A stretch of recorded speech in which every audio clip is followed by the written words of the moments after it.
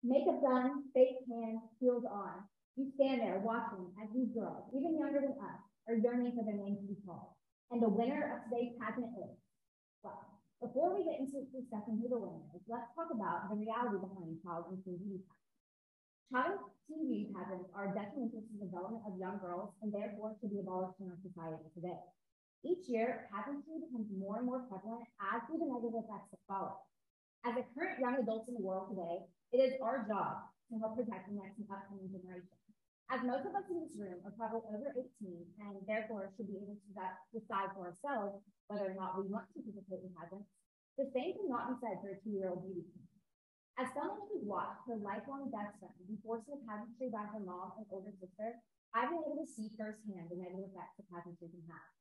I've watched as she was told what she could and could not eat since she was seven years old because she had to look right in a pageant dress and I watched as she was crying because she didn't want to go on stage and then she got in trouble because her tears messed up her makeup. Today, I will be discussing the dangers that revolve around the childhood pageant industry and how instituting a minimum age of 18 can help to dissipate these issues. Now we have a brief overview of what we will be discussing today. First, let's talk about why this is an issue to begin with. Pageants, while claiming to focus on scholastic and talent, in reality, more focus on outward appearance and this can be detrimental to mental health and it can cause safety concerns in participants.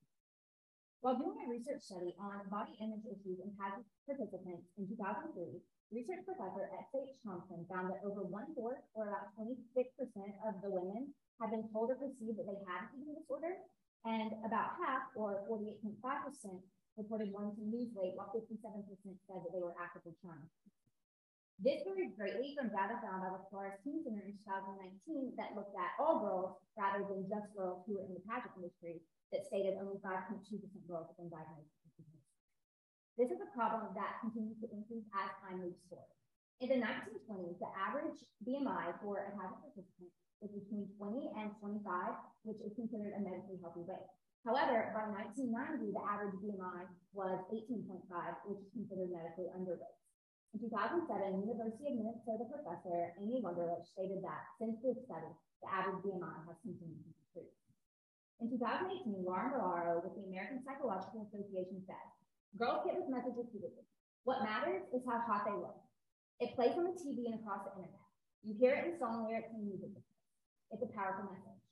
This is also something that continues to increase because now we have access to social media such as Instagram or Twitter or Facebook, where as soon as you open it, you see this image of what beauty standards should look at, and that can skew with what young girls perceive of themselves.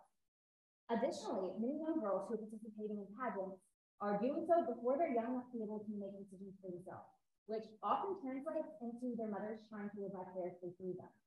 Starting to compete at such a young age can cause unhealthy pressure on young girls and make them feel like they're trying to live up to this role or idea of who they should, or who they should be, rather than giving them the opportunity to discover for themselves who they are and who they want to be. In regards to mother's influence, in 2018, Laura Bararo from LA Times said, after having a conversation with the mother of a child beauty queen, she claims that nothing is wrong with sexualizing children because sexuality, like beauty, is an eye of the beholder. Ironically, this highlights the problem.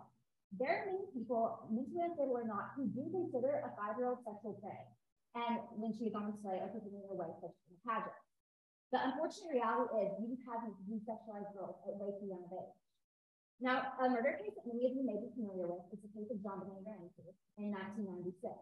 She was a five-year-old beauty who was murdered in her home, and while the case still remains unsolved, something that circulated while they were investigating was there was someone who came up to her at a pageant she wanted to do before and made comments to make her family uncomfortable. So many people asked the question, if she wasn't doing pageants at this young age, would she still be alive today? In 1997, Lauren McConnell with LA Times said, child beauty pageants appear to be another example of America wanting to have it both ways.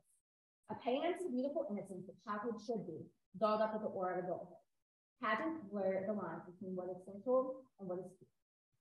Instituting a minimum age of 18 can help uh, to participate in pageants can help with this issue because 18 year olds are considered legal, legal adults in the United States. According to Florida Teen 89% of females who develop an eating disorder will have the demonstrate symptoms by the time they're 17.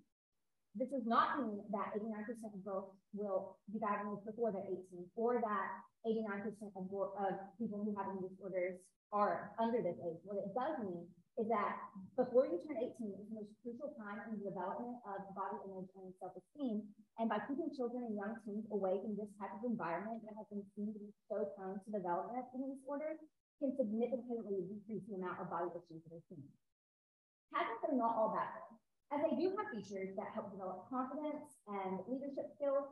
Exposure to pageants can allow young girls to work on self-expression and their communication. And it's significant because this can help with job interviews and their communication in everyday life, as well as how they interact in the workforce.